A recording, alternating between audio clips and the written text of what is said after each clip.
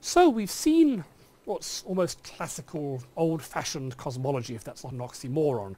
The whole idea of trying to find distances and redshifts and use that to measure the, the whole universe. It goes Thanks, all the way Paul. back to Hubble. Old-fashioned. Huh, yes, well. Um, we're now going to talk about, in some sense, the, the weirder, stranger, uh, less common sense type ways of doing it, which have come into their own in the last 20 or 30 years and are now very competitive and possibly even more powerful than some of the old traditional methods. Yeah, and some would say kind of cooler as well. We wouldn't, but... Yeah. Um, and we're going to start off with um, gravitational lensing. We'll get on to microwave background lumps, which are the, the killer uh, method at the moment. But let's start off with gravitational lensing, which is kind of cool as well. This is something we've talked about earlier in the course. The idea is that in this case we've got a cluster of galaxies and its gravity is actually bending the light of background galaxies. So you see these sort of arc-shaped patterns. Those are galaxies far behind the cluster whose light is being distorted and bent. And we talked about it in the first course as a way of measuring how much dark matter there is in the universe. And we talked about it in the exoplanet course as a way of finding extrasolar planets. And this is useful for cosmology, it turns out. It's got three effects, one bad and two good. Now the bad one, just imagine, let's imagine that you know, the supernova went off in this galaxy here. Well, Uh, that would be good because that would be at about a redshift of 4 and we'd be able to see it. But you want to measure uh, how bright it is, the distance scale, and the brightness you measure here is not going to be the real brightness. Yeah, so it turns out that we do need to worry about when we look at distant objects whether or not they're magnified or it turns out more commonly demagnified because if you have a big clump of galaxies, things get magnified in front of it. But most parts of the universe have a void of galaxies compared to the average. So that means objects are demagnified a little bit. Of course, energy is conserved, so over all the mass there must be a total balance. So if you're going to amplify in some areas, you must de-amplify in others to make up for Right. it. So at some level, it's not a problem because you just look at the entire universe. But then we have that little pesky problem of selection bias because I can see more distant objects when they're brighter than they should be. And that gives me a bigger volume. So I'm going to preferentially find the objects that have been magnified rather than demagnified. And that turns out when you look at really distant objects, a redshift of 4, well, it's complete bias because it's the only way we can possibly find them, and we haven't actually found one at that redshift yet. But uh, it's a couple percent effect in the nearby universe. So it's not a huge effect right now, but when you get to sort of beyond a redshift of maybe 2, it starts becoming a pretty serious uh, thing we need to worry about. And a lot of people are working at improving the accuracy. At the moment, you've got, what, 7% accuracy for supernova distances, so a 2% error is not really a problem. But if we ever manage to get big enough samples, that's for one supernova. If you add Yeah. large numbers of supernovae, you're getting errors much smaller, and then it can become serious. A- and it is. We don't have that many at the very large distances yet, so it's not yet a, a horrible problem, but it is one we need to worry about. So that's the bad effect. However, there are some good effects as well. Um, one is you can actually use gravitational lensing in a few special cases to get a direct geometrical distance. We talked about this using binaries, we talked about it using masers. This is a third way of doing it. And here's the basic idea. What we're looking at now is a foreground galaxy. Yeah, and this is a model of the galaxy, Yep. and you can see how well you can model the system, almost perfectly. So what's happening is you've got a galaxy here, and in the background, not another galaxy, but a quasar. Yes. and the light from the quasar is being bent around and giving you what's called an Einstein ring. So there's a second image here and a three images over there that are a bit merged together.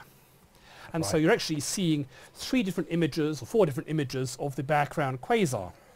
And the crucial thing is that the light has to go, let's say here's our galaxy, you're the Earth, and the light can go over the top to reach you or under the bottom.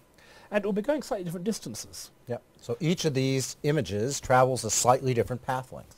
And from the modelling of the lens, you can actually estimate what those distances are.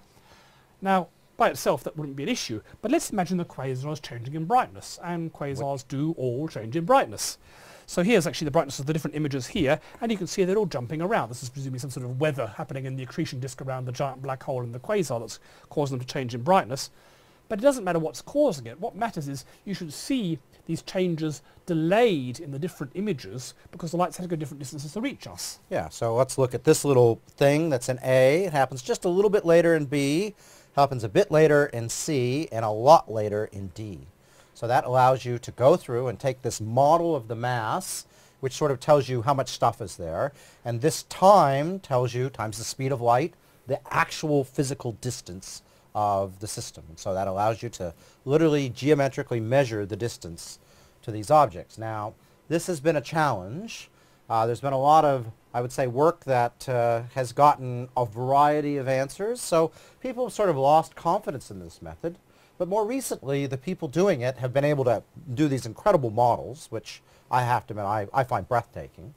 But they've also decided to be very, very circumspect. And what they do is they change the scale of the model when the people who are trying to make the models, they don't actually get to know what the answer is that they're getting. They have to play around with it, and everything is what we say uh, blinded. So that when they get a value for the Hubble constant, they can't put any of their own biases in the method. And so now they've done that twice, and they're getting answers which uh, are uh, respectable in terms of their uncertainty. And I think if they can do that about another 10 or 15 times, uh, they could build up a very interesting uh, measurement of, of distance scale with this method. Okay. And another method that's getting a lot of work and publicity at the moment is what's called weak gravitational lensing. If you remember back here, we've got what's called strong lensing, so you've got really big arcs. But let's imagine you don't have a big cluster of galaxies, but just some random bit of the universe in the foreground. Even so, the background galaxies are going to be just a little bit distorted. And so here's a simulation of it. So let's say here's a bunch of background galaxies, and you put a cluster in front, you will see that right in the middle you get these big arcs, but even further out, lensing. you get these things are a bit lined up. Now in this particular case here we've assumed they're all spherical to begin with, so any elongation you get here will be purely due to gravitational lensing. In practice, of course, galaxies are elongated all by themselves. They're disks. And so you've got to take the random orientations here and then superimpose a bit more lining up from gravitational lensing. But in principle, if you get really big samples, and we're talking millions, millions upon millions. So we're really talking a billion for the really big samples, a billion galaxies. And you can build up, it's not just these bits, but out here there's a small signal of what's there. And if you just take any one galaxy, yeah. it doesn't tell you much. But if you average over yeah. all these things, you can see maybe they're a bit preferentially aligned in one direction. Right, and you can actually take that alignment and build up a map of the cosmos, of how mass is distributed across the universe. And that turns out depends on how much dark energy there is, for example, in the universe. Yeah, so one thing it does is it gives a check of what we learnt from the peculiar motion to check of what the total mass of the universe is. But also you can in principle do this in a whole bunch of slices. You can estimate rather roughly how far away a galaxy is by looking at its exact colours, because as it's redshifted, its spectrum will move through the different filters you're observing and cause changes in colours. It's called a photometric redshift. And so you can get a rough estimate of how far away the galaxies are. So you can look at one slab of galaxies, another slab of galaxies, another one further and further away, and look at, for each slab at these distortions, and therefore actually get a three-dimensional, almost a tomographic model of the mass, and look at how the number of clusters, the, the density of the clusters and so on varies as a function of time. And that once again is a very strong constraint on various cosmological models, mainly yeah. on how much mass there is, but also on how long you've had to make it grow. And dark energy tends to change the rate at which things grow. So it also gives you a constraint on dark energy. Yeah, so there, we're right at the beginning of this being able to done being done successfully. There are some big experiments that have detected it and have been able to do these maps and are beginning to get cosmological constraints. But in the next five to ten years, there are going to be space missions fly that do this for literally most of the sky for billions of objects. And those have the potential to revolutionize how we do cosmological measurements.